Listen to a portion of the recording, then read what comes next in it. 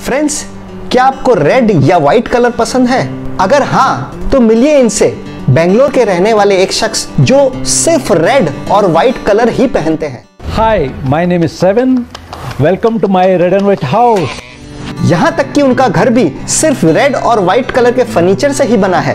वे इन दो कलर से इतने प्रभावित है कि उनके घर का सारा सामान भी रेड और व्हाइट कलर में ही है।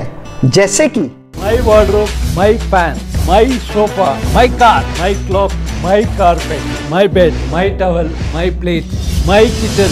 yahan tak ki unki matches aur toothbrush bhi red and white hai अगर कोई सामान किसी और कलर की है तो सेवन राज को उसमें कोई इंटरेस्ट नहीं। पर जैसे ही उन्हें कोई चीज़ रेड और व्हाइट कलर में दिखती है तो उन्हें तो वो खरीदनी ही है। मैंने started my career I decided to be unique person in the world I used to wear only white shirts, added red tie. People started recognizing me. Then I decided to wear only red and white. और तो और उनकी family भी उनका पूरा साथ देती है रेड और व्हाइट पहनने में बेंगलोर में सेवन राज एक सेलिब्रिटी बन गए हैं और लोग भी इनकी फैमिली को एक रेड एंड व्हाइट फैमिली कहती है इतना ही नहीं उनकी एक और खास बात भी है वे नंबर सेवन से भी काफ़ी प्रभावित हैं उनका नाम सेवन है उनके जैकेट में सात बटन है उनकी पैंट में सात पॉकेट्स हैं उनका फ़ोन और गाड़ी का नंबर भी डबल सेवन डबल सेवन है।